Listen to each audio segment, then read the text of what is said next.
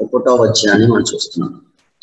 పిలాతు గలైన కొందరి రక్తము వారి బలులతో కలిపి ఉండేది. సో పిలాతు మందిరం దగ్గరికి వెళ్ళి ఉండాలి. వేరే సైన్యం వెళ్ళారు. అక్కడ ఉన్న వాళ్ళని కొంతమందిని చంపేశాడు. చంపి అక్కడున్న అక్కడ బలులు అవుతున్నాయి. ఆ బలుల యొక్క రక్తంలో చంపబడిన వారి రక్తాన్ని కలిపేశాడు.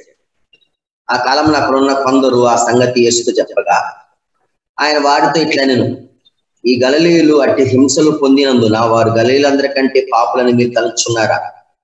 సో జనరల్గా ఏంటంటే కనుక ఎవరైనా ఎవరైనా ఇలా చనిపోతే మనందరం ఏమనుకుంటాం అంటే కనుక వాళ్ళందరూ పాపులు కాబట్టి అలా చనిపోయారు అనుకుంటాం. మనిషి బ్రతికే ఉన్నాడు అది దేవుని కృపను బట్టే.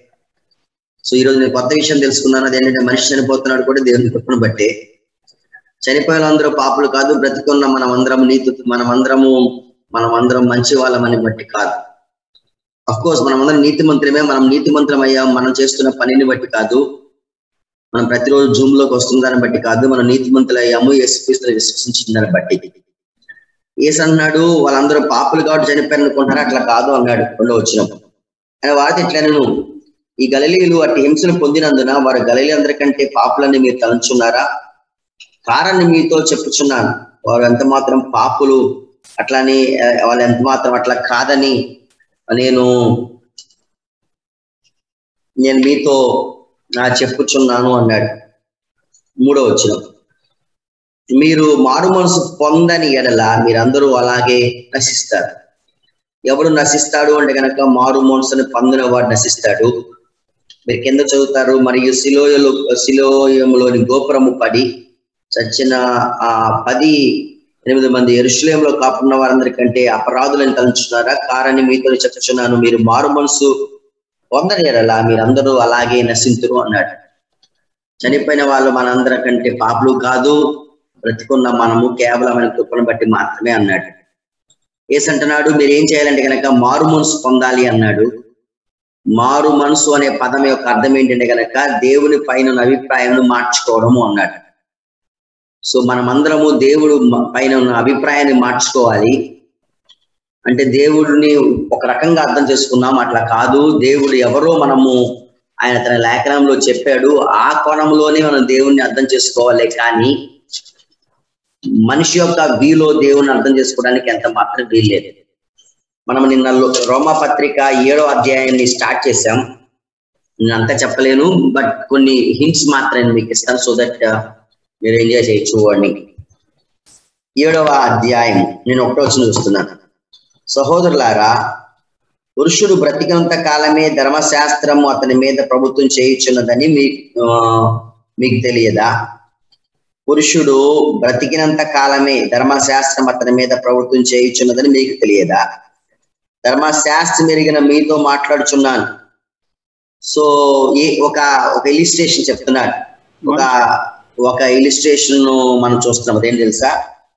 ఆ ధర్మశాస్త్రము ఎరిగిన మీతో మాట్లాడుచున్నాను. సో సింపుల్ రెండో వచ్చిన భర్త గల ఒక స్త్రీ భర్త బ్రతికినంత వరకే ధర్మశాస్త్రం వలన మనుష్యుడు మనుష్యుడు. యా. సారీ మనుషుడు బ్రతికున్నంత అవును. సో భర్త గల స్త్రీ భర్తకు బ్రతికినంత వరకే ధర్మశాస్త్రం వల్ల అతనికి భద్రాలు కానీ. భర్త చనిపోయిన భర్త విషయమే ధర్మశాస్త్రం నుండి ఆమె విడుదల పొందు ఇది కొంచెం కన్ఫ్యూజింగ్గా ఉంది బట్ సింపుల్ సింపుల్ లాంగ్వేజ్ చెప్పేస్తాను ఇది చాలా డెడ్ ఈజీగా ఉంటది. నేను ఒక అమ్మాయిని అనుకుందాం అబ్బాయిని యాక్చువల్గా ఒక అమ్మాయిని అనుకుందాం. నేను పెళ్ళి చేసుకున్నాను. నేను ఎవరిని పెళ్ళి చేసుకున్నానంటే కనుక మిస్టర్ పర్ఫెక్ట్ని పెళ్ళి చేసుకున్నాను.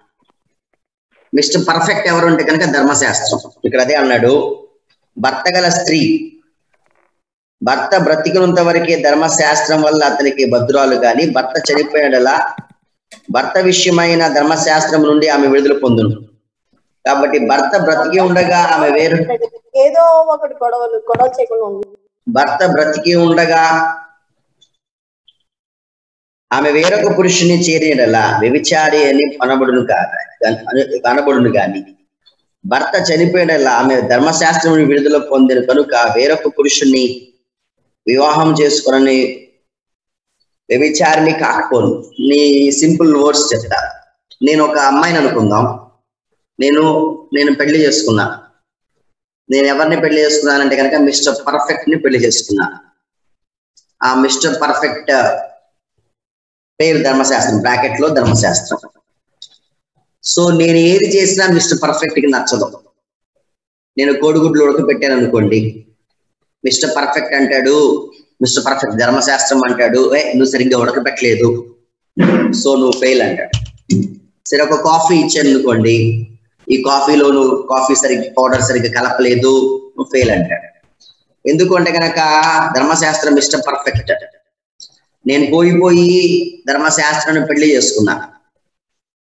నేను రోజులు ధర్మశాస్త్రంతో నివసిస్తున్న కొలది ధర్మశాస్త్రంతో కాపురం చేస్తున్న కొలది నాకు ఒక విషయం అర్థమైంది. అది ఏంటంటే కనుక నేను మిస్టర్ పర్ఫెక్ట్తో ఉండలేను అనే విషయం నాకు అర్థమైపోయింది.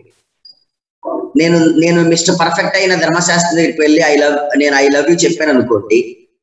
మిస్టర్ పర్ఫెక్ట్ అయిన ధర్మశాస్త్రం ఏమంటున్నాడు అంటే కనుక ఏమంటానంటే కనుక నువ్వు నువ్వు నన్ను ప్రేమిస్తే ప్రేమించావు కానీ నన్ను ఎంత మాత్రం నువ్వు టచ్ చేద్దాం అంటున్నాడు. ఎందుకంటే కనుక నేను పర్ఫెక్ట్ నువ్వేమో పాపివి అని ధర్మశాస్త్రం చెప్తుంది. ఈవెన్ నేను వెళ్ళి ఇట్లా టచ్ చేయడానికి కూడా ఇలా టచ్ చేయడానికి కూడా వీలు లేకుండా పోయింది ధర్మశాస్త్రం. పెళ్ళి అయితే జరిగింది కానీ నేను మిస్టర్ పర్ఫెక్ట్ చేసుకుని చాలా తప్పు చేశాను. ఉదయం నుంచి సాయంత్రం వరకు గనక చూస్తే గనక ఉదయం ఉదయం నుంచి సాయంత్రం వరకు గనక చూస్తే నేను ఒక్కసారి కూడా ఆమెతో మాట్లాడే నేను నేను ఆయ- ఆమెను కదా నేను ఒకసారి కూడా ఆయనతో మాట్లాడే అవకాశం ఉండదు. ఒకవేళ ఏదైనా మాట్లాడితే గనక మిస్టర్ పర్ఫెక్ట్ కాదు. అకార్డింగ్ టు ఆర్టికల్ రెండు వందల పద మొత్తం ఆరు వందల పదమూడు ఆర్టికల్స్ ఉన్నాయి కదా ఆరు వందల పదమూడు ఆజ్ఞలు ఉన్నాయి కదా. అకార్డింగ్ టు రెండు వందల యాభై రెండు ఆర్టికల్ ప్రకారం నువ్వు పలానా తప్పు చేశావు కాబట్టి నీతి నీకు నేను శిక్షిస్తున్నా అంటాడు. నేను ధర్మశాస్త్రం దగ్గరికి వెళ్ళి వెళ్ళే అవకాశం ఎంత మాత్రం లేదు. నేనేమో ధర్మశాస్త్రం చేసుకున్నా ధర్మశాస్త్రం మిస్టర్ పర్ఫెక్ట్ నేనేమో పాపిని.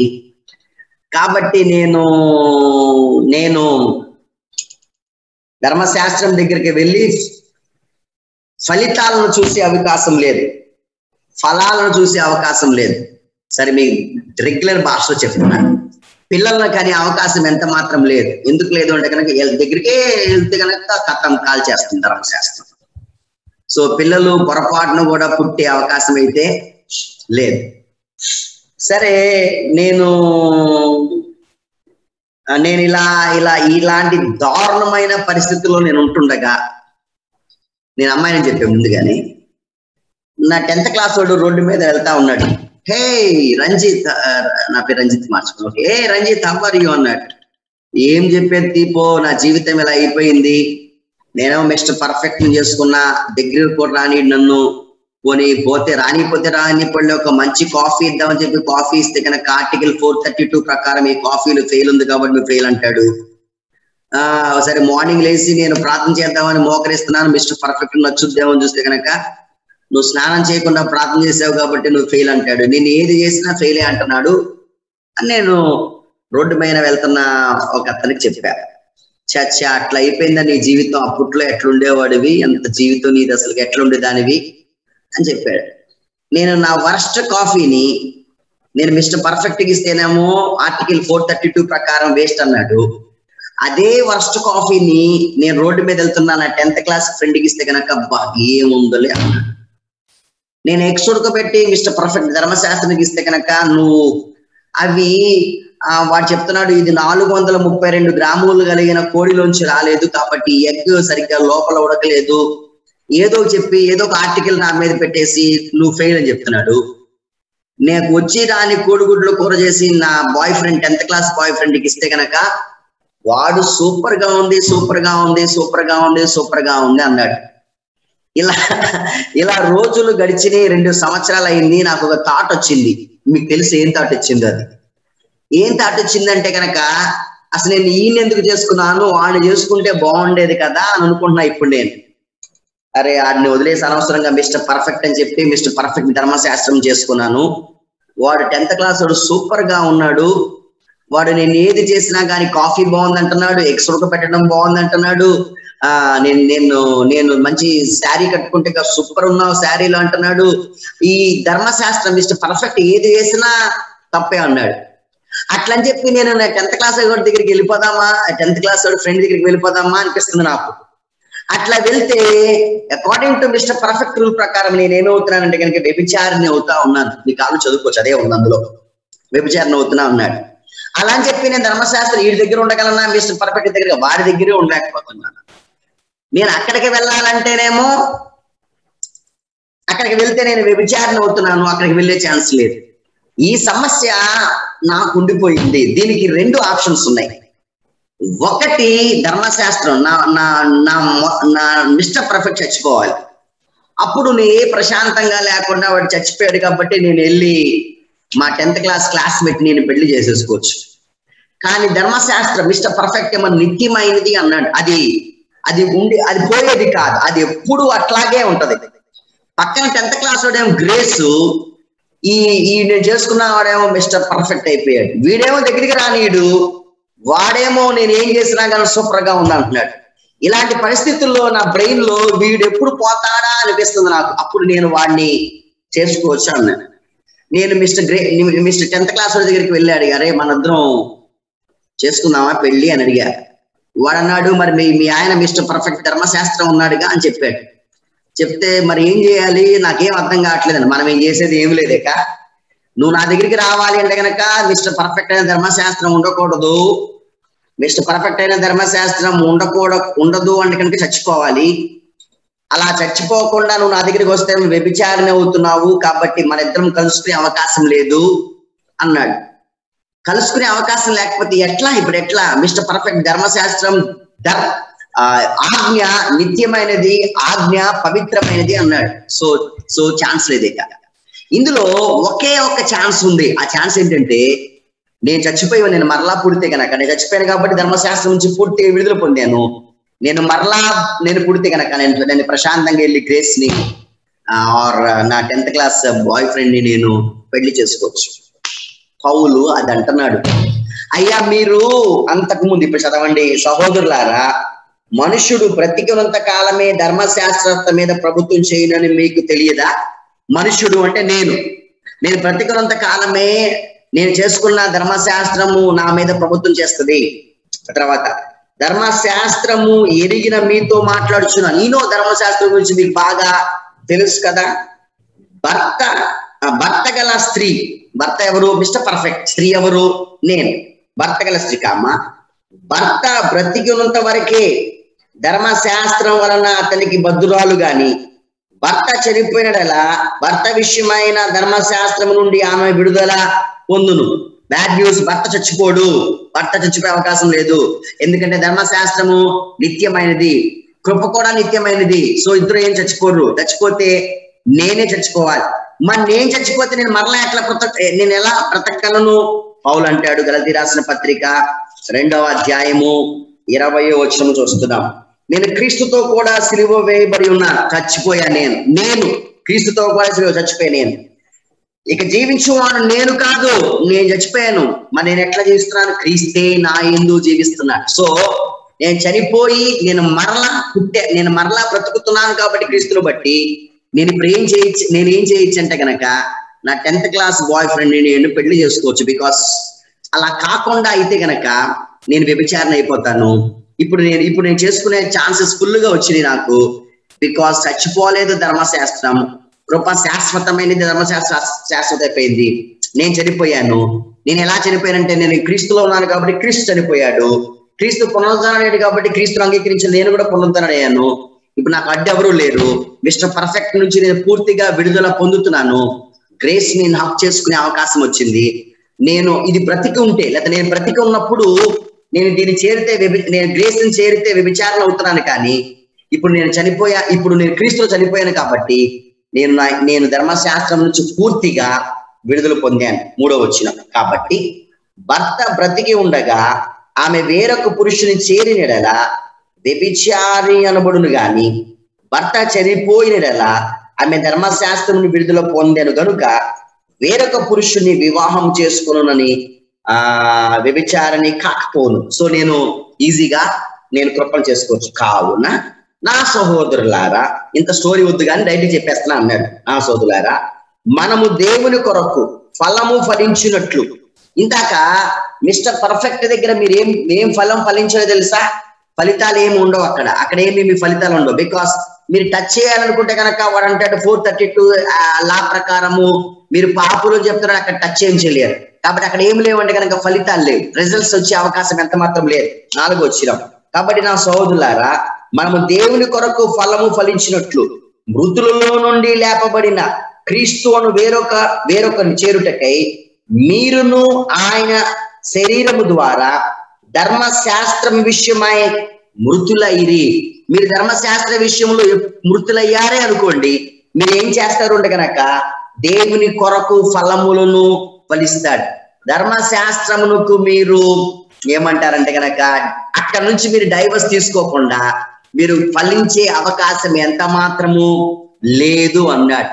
మీరు ఎప్పుడు యేసులో చనిపోయి యేసులో లేపబడతారో అప్పుడు యేసు అనే కృపను వివాహం చేసుకోవచ్చు. బికాస్ మీరు చనిపోయారు కాబట్టి చనిపోయిన వాడు నేను వేరొక వివాహం చేసుకుంటే అది వ్యభిచారం అవుతుంది. నేను ప్రతి ఇద్దరు బ్రతికి ఉం- నేను బ్రతికి ఉం- నేను బ్రతికి ఉంటే అది కుదరదు. మిస్టర్ పర్ఫెక్ట్ అయిన ధర్మశాస్త్రం ఏమో చనిపోడు. కాబట్టి నేనే చనిపోవాలి. నేను క్రీస్తులో చనిపోయాను. మరలా క్రీస్తులో బ్రతికాను. ఇప్పుడు నేను కొత్త వ్యక్తిని కాబట్టి నా ఇష్టం వచ్చిన పెళ్ళి చేసుకోవచ్చు. ధర్మశాస్త్రం ఆల్రెడీ చేసుకుంటే బుద్ధి వచ్చింది నేను అందుకు ఇప్పుడు ఎవరిని చేసుకున్నానంటే కృపణం చేసుకుంటున్నాను. సో నేనేం చేయగలను అంటే గనక నా సోదరులారా మనము దేవుని కొరకు ఫలము ఫలించినట్లు. ఇప్పుడు మనం నేనేం ఫలించగలను అంటే గనక ఫలితాలు చూడ చూడొస్తూ చూడొచ్చు. వై క్రిస్టియానిటీ ఎందుకని ఫలితాలు ఫలించట్లేదు? బికాస్ ధర్మశాస్త్రం మిస్టర్ పర్ఫెక్ట్తో వారు ఉండాలని ట్రై చేస్తున్నారు మిస్టర్ పర్ఫెక్ట్తో ఉంటే కనుక మీరేం చేయలేరు అంటే కనుక ఫలితములు ఫలించలేరు. కారణం చూసుకోండి ఐదో వచనంలో. ఏలయనగా మనము శరీర సంబంధమై ఉండినప్పుడు మరణార్థమైన ఫలము ఫలించుటకై. మీరు ధర్మశాస్త్రం క్రింద ఉన్నప్పుడంట మరణార్థమైన ఆ, ఫలము ఫలించుటకై. ధర్మశాస్త్రము వలనైన పాపేచ్ఛలు మన అవయములో కార్య సాధకమునై ఉన్నవి ధర్మశాస్త్రం వలన ధర్మశాస్త్రం ఏం చేసింది తెలుసా? మీ మీ మీ పాపేచ్ఛలు మన అవయములో కార్య సాధకమునై ఉన్నది అని వచ్చిన ఇప్పుడైతే దేవుని చేత నిర్భయించబడితము. దాని విషయమై చనిపోయిన వారమై దాని విషయమై చనిపోయిన వారమై కామ ధర్మశాస్త్రము నుండి విడుదల పొందితివి కనుక మనము అక్షరానుసారమైన ప్రాచీన స్థితి గల వారము కాక ఆత్మానుసారమైన నవీన స్థితి గల వారమై సేవ చేయించుకున్నాం. I'm too close I'm too close మీరు ఇప్పుడు సేవ చేస్తారని ఎట్లా? అక్షరార్థమైన ప్రాచీన స్వభావాన్ని బట్టి కాక ఆత్మానుసారమైన నవీన స్వభావాన్ని బట్టి చేస్తారు.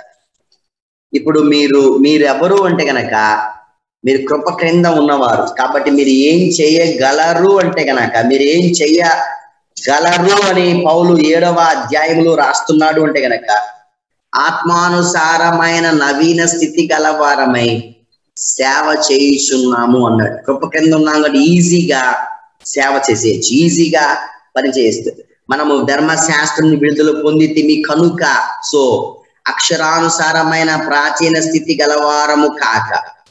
కాబట్టి ఏముందుము వెరీ గుడ్ ఇంపార్టెంట్ ధర్మశాస్త్రము పాపమాయన? అలాంటప్పుడు నా మిస్టర్ పర్ఫెక్ట్ అయినవాడు పాపమా?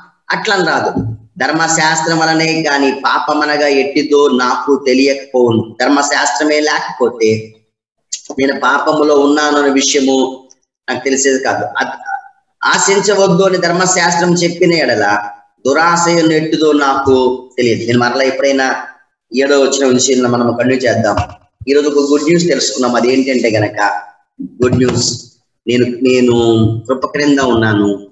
నేను ఇప్పుడు ఫలితాలను ఈజీగా ఫలించగలను. ఎందుకు నేను ఈజీగా ఫలించగలను అంటే గనక అక్షరానుసారమైన ప్రాచీన స్వభావం బట్టి కాక ఆత్మానుసారమైన నవీన స్వభావం. సో అక్షరానుసారమైనది బయట ఉంది ఆత్మానుసారమైనది లోపల ఉంది. సహాయం బయట నుంచి లోపలికి రావటం కాదు. ఇప్పుడు లోపల నుంచి ఫలితములు బయటకు వస్తాయి బికాస్ లోపల మనకు పరిశుద్ధాత్మ దేవుడు నివసిస్తున్నాడు. You are already divorce to Mister perfect అయిన law. Now you are under grace మీ కృప క్రింద ఉన్నారు. ఎంజాయ్ చేయండి లైఫ్ని. ఆ ఎందుకంటే కనుక దేవుని కొరకు ఫలములు ఫలించుటకై అన్నాడు. ఎవడు కృప క్రింద ఉంటాడో కృపను ఎంజాయ్ చేస్తుంటాడో వాడు ఏం చేస్తాడు అంటే కనుక వాడు ఆ ఫలితాలను ఫలములు ఫలిస్తాడు. మరణాధకమైన ఫలములను ధర్మశాస్త్రం క్రింద ఉన్నవాడు అన్న ఉండాలి అనుకున్నవాడు నేను ఆల్రెడీ ధర్మశాస్త్రం అంటే అర్థం చెప్పా impressing God with our works మన పనులను బట్టి దేవుణ్ణి ఇంప్రెస్ చేయాలి అనుకోవడము ధర్మ శాస్త్రం ఏమో నేను మీకు మీకు మనం చూస్తే కనుక నేను ఐగుప్తు దేశాన్ని మీరు టైం చూస్తా ఓకే ఐ థింక్ ఐగుప్తు దేశం మొదలుకొని వారు సినాయి పర్వతంకి వచ్చారు. ఈ మధ్యలో చాలా సరిగారు వారు చాలా గొలిగారు దేవుణ్ణి దూషించారు. అయినా కానీ వాళ్ళకి ఎంత మాత్రం శిక్ష శిక్ష రాలా. ఎప్పుడు ధర్మశాస్త్రం వచ్చిందో ఇది వెంటనే వాడు సరిగినా దేవుడు కొడుతున్నాడు వాడు గొనిగినా దేవుడు కొడుతున్నాడు వాళ్ళు ఏం చేసినా దేవుడు కొట్టడం స్టార్ట్ చేశాడు. ఎందుకు అలా జరిగింది? బికాస్ వాళ్ళు అన్నారు మాకు ధర్మశాస్త్రం కావాలి. మేము దేవుణ్ణి రీచ్ అవుతాము దేవుని బట్టి కాకుండా మేము దేవుని రీచ్ అవుతాము మేము చేసిన పనులతో అన్నాడు. అందుకే మనిషి ఎప్పుడు దేవుని దగ్గరికి రీచ్ అవ్వాలని క్రైస్తవుడు ఎప్పుడు దేవుని దగ్గరికి వెళ్ళాలని ట్రై చేస్తున్నా వాడు వెళ్తున్నా కానీ సంతోషంగా ఉండడం లేదు. ఎందుకు సంతోషంగా ఉండడం లేదు అంటే కనుక నేను దేవునికి కావలసినవన్నీ సరిగ్గా చేయలేకపోతున్నాను. అందుకనే దేవుడు నన్ను సరిగ్గా పట్టించుకోవట్లేదు. ఏమని ఒక క్వశ్చన్ అడుగుతా. మీరు ఏ ఎన్ని గంటలు ప్రార్థన చేస్తే ఆ ఆయన ఆయన మీకు ఇది ఇంత ఇస్తాను అని చెప్పాడు. అంతేం చెప్పలా. మీరు ఏసులో ఉంటారు నిన్న నేను చెప్పిన ఒక వర్తమానము సజీలువై నిలిచి ఉండు మనము మనం ఆయనతో పాటు ఎత్తబడతాము అంటే అర్థము బ్రతికితేనే ఎత్తబడతామని కాదు. మనం ఏం చేసినా ఏం చేయకపోయినా మనం మనము బ్రతికుంటే చాలున్నాడు సజీవులమై నిలిచి ఉండు మనం మన దాంట్లో ఇట్లా పెడుతున్నారు అందరూ. ఎలా అంటే మీరు మీరు ఆయన బాగా వెతికితే అప్పుడు మీరు ఎత్తబడతారు. మీరు ఇరవై నాలుగు గంటల్లో కనీసం రెండు గంటల నలభై నిమిషాలు దశమ భాగం దేవుడికి ఇస్తే అప్పుడు ఎత్తబడతారు. మీరు స్థుతి ఆరాధన ఒక నాలుగు గంటలు చేస్తే ఎత్తబడతారు. ఇలా చెప్తున్నారు. అట్లా కాదు. ఎత్తబడటానికి ఒకటే అన్నాడు. మీరు ఏం చేయనక్కల నా ఎందు ఉండండి మీరు ఎత్తబడతారు అని చెప్పాడు. అలా అని చెప్పి నేను ప్రార్థన చేయడం తప్పన్నానా లేదు లేదు. ప్రార్థన చేస్తాం. ఎందుకు చేస్తాం అంటే అవుట్ ఆఫ్ లవ్ చేస్తాం. ప్రేమ ఉంది కాబట్టి మనము ప్రార్థన చేస్తామే కానీ రూల్తో ప్రార్థన చేయం. అలా చేస్తేనే చేస్తాడు. నా మంచితనమును బట్టి దేవుడు నాకు మంచి చేస్తాడు అన్న పాయింట్ ధర్మశాస్త్రం. నేను నేను చేస్తున్న క్రియలు బట్టి దేవుడు నన్ను ప్రేమిస్తాడు అని చెప్పడం ధర్మశాస్త్రం. మీకు తెలుసు కదా ఇరవై ఎనిమిదో అధ్యాయం ద్వితీయోపదేశ కాలంలో అంటాడు ఒకటో వచ్చిన రెండో వచ్చినంలో మీరు నా ఆజ్ఞల్ని గైకొంటే అప్పుడు నేను మిమ్మల్ని దీవిస్తా. అది ధర్మశాస్త్రం. మీరు నా ఆజ్ఞలు గై కొనకపోతే నేను మిమ్మల్ని శపిస్తా. అది ధర్మశాస్త్రం. ఇప్పటికి కూడా మనిషి దానిపైన మనిషి నిలబడుతున్నాడు. ఈ రోజు కూడా అనుకుంటున్నాడు దేవుడు అలాగే నన్ను దీవిస్తున్నాడు అనుకుంటున్నాడు. అలాగే దీవించే పద్ధతే ఒకవేళ అదే పద్ధతిలో ఇంకా ఉన్నట్లయితే గనక యేసు ఈ లోకానికి రావలసిన అవసరత ఎంత మాత్రం ఉండేది కా ఉండేది కాదు. యేసు వచ్చాడు మనిషి ఆ పద్ధతిలో దేవుణ్ణి ఇంప్రెస్ చేయలేకపోతున్నాడు కాబట్టి మనిషి రూపంలోని మనిషి రూపమును దేవుడు ధరించుకొని మనిషి ప్లేస్లో దేవుడుని కుమారుని క్రీస్తు ఇంప్రెస్ చేసి ఎవడు కుమారుని క్రీస్తు అంగీకరిస్తాడో వాడు వారు ప్రతి వారు తండ్రిని దేవుణ్ణి ఇంప్రెస్ చేసినట్లే తండ్రిని దేవుణ్ణి మెప్పించినట్లే. సో నా పనులు బట్టి కాదు ఇప్పుడు తండ్రి మెప్ తండ్రి మెప్పు పొందుతుంది అంగీకరిస్తుంది. యేసు యొక్క పనిని బట్టి తండ్రి అంగీకరిస్తున్నాడు. అదే పాత నిబంధనలో అయితే ధర్మశాస్త్రంలో అయితే నేను చేసిన పనిని బట్టి దేవుడు ధర్మశాస్త్రమును ఆయన సన్నిధిలోనికి రానిచ్చేవాడు. ఇక్కడైతే కనుక క్రీస్తు చేసిన పనిని బట్టి ఆయన నన్ను ఆయన సన్నిధిలోకి రాస్తున్నాడు. సో మనము వేరొక పురుషులైన కృపను కృపను చే- చేరడానికి మనం ధర్మశాస్త్రం నుంచి విడుదల పొందాము. ఒకవేళ విడుదల పొందకుండా వేరొక పురుషుని చేరితే కనుక వ్యభిచారము అని చెప్తున్నాడు.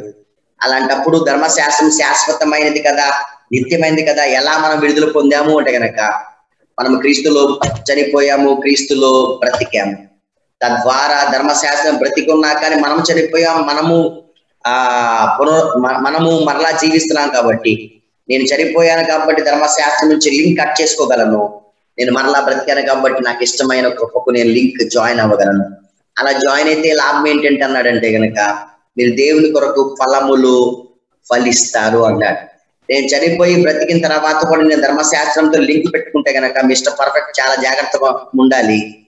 ఆయన మిస్టర్ పర్ఫెక్ట్ ఏదైనా సరే తేడా వస్తే ఊరుకోవట్లేదు మిస్టర్ పర్ఫెక్ట్. అప్పుడు మరణార్థకమైన మీరు మంచి ఫలితములు ఫలాలు ఫలించలేదు. ఏమండి ఇలా చెప్తున్న నేను అలాంటప్పుడు క్రైస్తవులు పరలోకానికి వెళ్ళరా అంటే గనక క్రైస్తవులు పరలోకానికి వెళ్తారు యేసుప్రభు రక్షకుడుగా అంగీకరించిన వాడు. అయితే ఎట్లా వెళ్తాడంటే గనక ఈ భూమి మీద అనేకమైన శ్రమలు అనేకమైన శ్రమలు అనుభవించి కష్టాలు అనుభవించి సంతోషంగా జీవించకుండా విచారంతో బ్రతుకుతూ దుఃఖమును అనుభవిస్తూ ఏసే నాకు శ్రమ పెట్టాడని ఆందోళన చెందుతూ ఈ వ్యాధి రావడానికి గల కారణం దేవుడే అని- అని అనుభవిస్తూ చివరికి బెడ్ మీదకి వెళ్ళి బెడ్ మీద కూడా దేవుడా నన్ను నన్ను ఇంకా పరీక్షిస్తున్నావా? నీకు వందనాలు. ఈ పరీక్షలో నేను పాస్ అవునట్లుగా సహాయం చేయి. నేను ఇంకా ఎక్కడ సరి చేయబడాలో ఆ విషయాల్లో నేను ఇక్కడ ఈ బెడ్ మీద సరి చేయబడినట్లుగా కృప చూపించు అని చెప్తూ అలా ఆందోళన పడుతూ పడుతూ పడుతూ ఒకరోజు చనిపోయి పరలోకానికి వెళ్తాడు. ఫైనల్గా పరలోకానికి వెళ్తున్నాడు. కృప క్రింద ఉంటే లాభం ఏంటి గనక?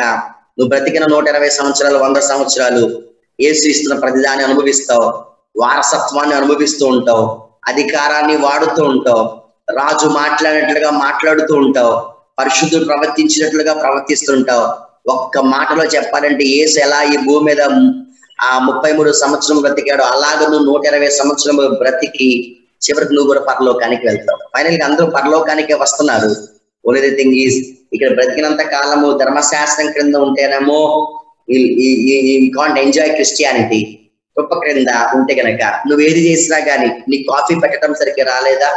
సూపర్గా ఉంది అని అంటాడు కృప. బిర్యానీ ఫస్ట్ టైం ట్రై చేసావు కదా? బా సూపర్ ట్రై చేసావు బాగుంది. వైకాండ్ నువ్వు ఇంకొకసారి చేస్తే కనుక వెళ్తాను. నువ్వు బాగా ఇంప్రూవ్ అవుతావు అని చెప్తాడు. మిస్టర్ ధర్మశాస్త్రం అంటాడు కారం ఎక్కువైంది ఉప్పే లేదు. అది ఇది చెప్పి నువ్వు ఎంత చేసినా గాని బ్రతికినంత కాలం ఫెయిల్ అని చెప్తాడు. ట్రై చేయమని చెప్పడు. ఎందుకంటే ఆయన ఎవరు అంటే Mister perfect good news we're under law not we're not under law we're under grace ఎలా అంటే గనక ధర్మశాస్త్రం చచ్చిపోయే అవకాశం లేదు. ఆయన చచ్చిపోకుండా నేను గ్రేస్ పెళ్ళి చేసుకుంటే గనక రేపు అని చెప్పింది ధర్మశాస్త్రం. కాబట్టి బెటర్ నేను చచ్చిపోతా క్రీస్తులో. నేను మరలా క్రీస్తులో బ్రతుకుతా. ఫ్రీడమ్ వచ్చింది గ్రేస్ పెళ్ళి చేసుకుంటున్నా. ప్రభు మనల్ని దీవించింది దాకా చివరి ప్రార్థన చేద్దాం.